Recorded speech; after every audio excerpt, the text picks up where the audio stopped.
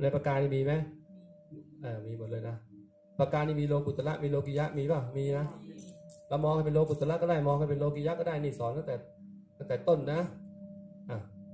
อ่าเดี๋ยวเอาคนที่มาที่มาที่หลัง มองปากกานี้ให้ไม่มีตัวตนมองไง มองปากกานี้ว่าไม่มีตัวตนอะมองยังไง ถ้ามองไม่มีตัวตนก็คือเป็นมองเป็นโลกุตระเลยนะเขาเรียกโลกุตระคือทำเหนือโลกไปเลย มองแบบเหนือโลกไปเลย มันไม่มีอยู่จริงหรอกปากกาเนี่ยเราจะมองยังไง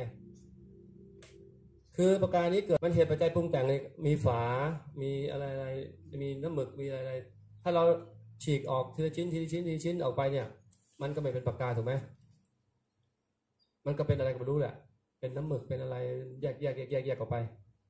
ดังนั้นอะไรที่มันเกิดจากเหตุปัจจัยปรุงแต่งขึ้นมาพอหมดเหตุปัจจัยมันก็ดับไปถูกไหม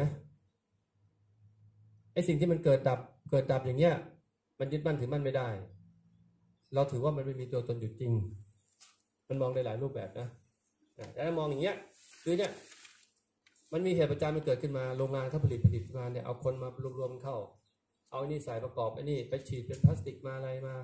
แต่พอหมดเหตุปัจจัยเมื่อไหร่ที่มันหมดสภาพของมันอะ มันก็ ดับออกไป แล้วทุกอย่างทุกเวลาเนี่ยมันเปลี่ยนแปลงตลอดนะ เนี่ยมันเปลี่ยนแปลงตลอด เรามองอะ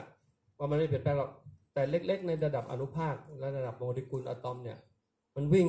เปลี่ยนแปลงตลอดเลยดังนั้นตัวตนจริง ๆ ของมันอะขนาดไหนตอนไหนเราไม่รู้เพราะมันเปลี่ยนแปลงตลอด ก็คือไม่มีตัวตนอยู่จริงอะอะต่อไป